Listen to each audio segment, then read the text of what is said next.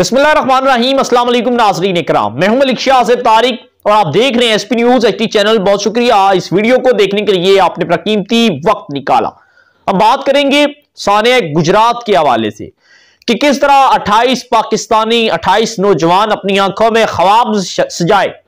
अपने बेहतर मुस्तकबिल के लिए, अपने माँ बाप को हर तरह की आसाइश देने के लिए, भाई को बेहतरीन कारोबार के लिए, बहनों की शादियों के लिए अपने बच्चों और बीवी के रोशन मुस्तकबिल के लिए और खुशहाल ज़िंदगी के लिए वो अट्ठाईस नौजवान आँखों पर पट्टी बांधे। वो उस शिप में बैठे और फिर उस समुंदर की गहरी आगोश के अंदर उन्होंने हमेशा हमेशा के लिए चुप जो है वो साथ ली। वो उस गहरी आगोश के अंदर इस तरह बहते चले गए कि दोबारा शायद उन्हें ये तकालीफें, ये आसाइशें, ये ख्वाब उस पानी के अंदर बहकर चले गए और जब शिप उल्टी हुई तो यकीन उसमें से बचना फिर आसान काम नहीं था।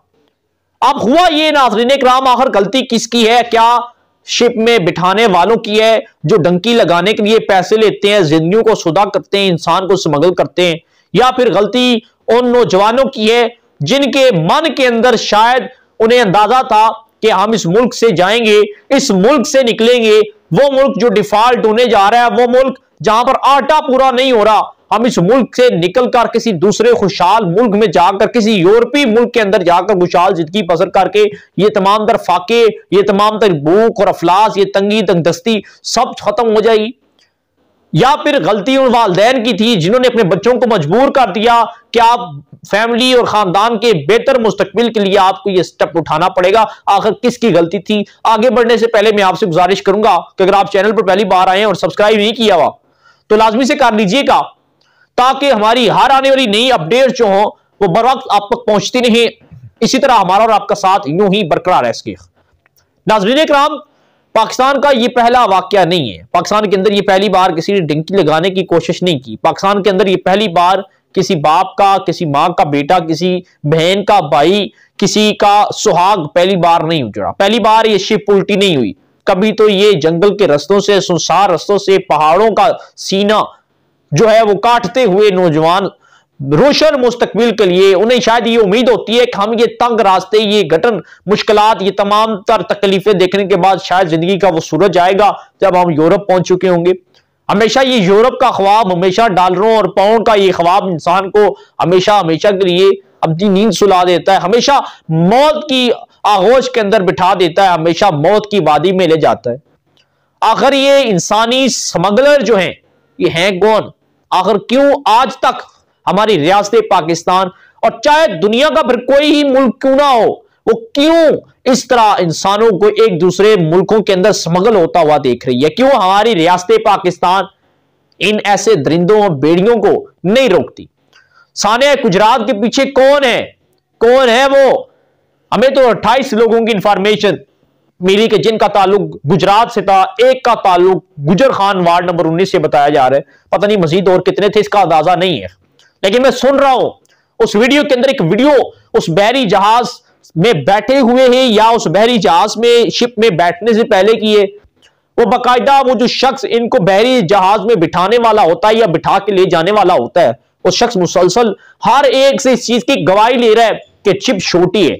जो शिप है, वो छोटी है और इस शिप के अंदर ओवरलोडिंग होने जा रही है। क्या अगर कुछ हो जाता है तो इसके जिम्मेदार आप खुद होंगे? तो वो तमाम तर नौजवान यकीन वो ऐसा करना नहीं चाह रहे थे। यकीन इस बात के अंदर वो हामी नहीं भरना चाह रहे थे। यकीन जब वो कह रहे होंगे तो उनकी रोह तक काम उठी होगी। यकीन उन्हें ये आसान नहीं लग रहा था। फिर भी उन्होंने अपने वाले अपने खानदान जिनको छोड़ के आए थे, इतना बड़ा सरमाया उन इंसानी स्मगलरों को दिया कि हमें वो बेहतरीन और बाहिफाजत पहुँचा देंगे। लेकिन एक बंदे से अट्ठाईस, तीस, चालीस, पचास लाख रुपए लेने के बावजूद वो छोटी सी शिप दी। ताकि इसमें बैठ कर जाएँ और साथ में वो इनसे कबूलियत भी ले रहे अगर कुछ हो गया तो इसके जिम्मेदार आप खुद होंगे। तो वो नौजवान कहते हैं, हम खुद होंगे। और इसी दौरान फिर वो शिप जो थी, वो ज़्यादा दूर से तो नहीं, लेकिन पास से ही वो पानी की ऐसी लहर आई कि जिसके अंदर वो शिव जो थी, वो पानी के अंदर बह गई। और अट्ठाईस नौजवान, जिनका ताल्लुक गुजरात से है, वो उस पानी के अंदर बह गए। और तमाम जो ख्वाब थे, वो हमेशा हमेशा के लिए उस पानी के अंदर बह कर चले गए। असल मामला ये था, नाजरीन कराम माँ बाप की मजबूरी थी कि उनके भी पीछे और भी लोग थे। उनके और भी बेटे थे, बेटियाँ थी, ख्वाब थे, मंजिलें थी, जो तकालीफें काटी थी, शायद उन्हें अंदाज़ा था इस शिप के अंदर हमारे बच्चे बैठकर जब इटली पहुँच जाएँगे तो वो तमाम तर हमारी तकलीफें दूर कर देंगे। ये जो शिप थी नाजरीन के ये लीबिया से इटली जा रही थी। पहले ये तमाम तर मुसाफिर जो थे, ये तमाम तर इटली और यूरोप का ख्वाब आँखों में सजाए गुजरात के आयशी, ये गुजरात के नौजवान, ये हमारे वतन अज़ीज़ का सरमाया, हमारे कीमती नौजवान, हमारे हीरो थे यकीनन, और ये इस मुल्क के अंदर होते तो बहुत कुछ शायद करते, लेकिन शायद इस मुल्क के अंदर उन्होंने, उन्हें हमेशा अंधेरा देखा, इस मुल्क के अंदर हर अदारे के अंदर करप्शन देखी बदनवानी देखी, और हर छोटे काम की मद में इनसे रिश्वत का यकीन मुतालबा किया होगा। आटे के लिए लाइनों के अंदर खड़े होकर धक्के खाए होंगे, एक मुलाजम और एक चपरासी से भी यकीन गालियाँ सुनी होंगी और इन्हें भी दर दर ठोकरे खाने पर मजबूर हुए होंगे। यकीन ये भी मजदूरी के लिए रोते होंगे।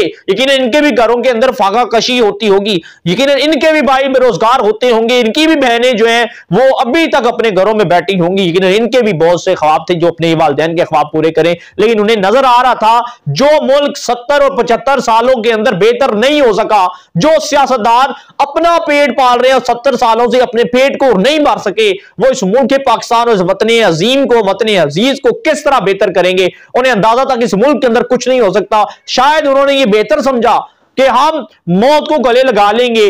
अगर बच गए तो ज़िंदगी बन जाएगी रोशन मुस्तकबिल हो जाएगा मर गए तो खुदा हाफिज। तो शायद आ, उनका मुस्तकबिल रोशन तो नहीं हुआ लेकिन इस ज़िंदगी की तंगदस्तियों मजबूरियों लाचारियों बेबसियों से उन्होंने हमेशा हमेशा के लिए नजात तो हासिल कर ली है। मैं इस प्रोग्राम की बिसात से, मैं उन तमाम तर लोगों को कहूँगा कि खुदारा इस मुल्क के अंदर थोड़ा है, बहुत है, एक टाइम के लिए खा लें दूसरे टाइम के लिए ना खाएँ। अगर एक एक टाइम के लिए है तो उससे भी आधा कर लें, लेकिन खुदारा अपने बच्चों को, अपने लगते जिगरों को इस तरह मौत के हवाले ना करें, इस तरह मौत की वादियों के अंदर ना धकेले, अपने हाथों से ना धकेले। यकीन इसके अंदर वालदेन का कसूर नहीं है, मैं उन्हें कसूरबार नहीं ठहराऊँगा। लेकिन उन्होंने भी अपने बच्चों के बेहतर मुस्तकबिल के लिए शायद ये अपने दिल पर पत्थर रखकर फैसला किया होगा और यकीन सारी ज़िंदगी के लिए अपने आप को मलामत करेंगे। सारी ज़िंदगी वो चीज़ का अजाला तो नहीं कर सकते, लेकिन अल्लाह तबारक से दुआ अल्लाह पाक उन्हें सबर दे।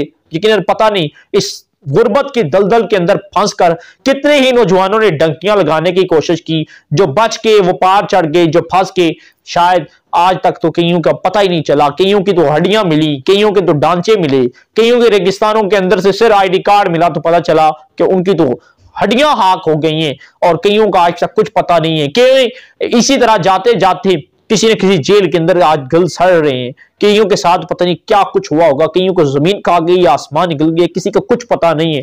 तो नाजरे कराम आप क्या राय देते हैं सारे प्रोग्राम के बाद अपने कमेंट सेक्शन में ख्याल का इजहार कीजिएगा। अपनी दुआओं में हमें याद रखिएगा, हमें दीजिएगा इजाज़त। अलाने के बाद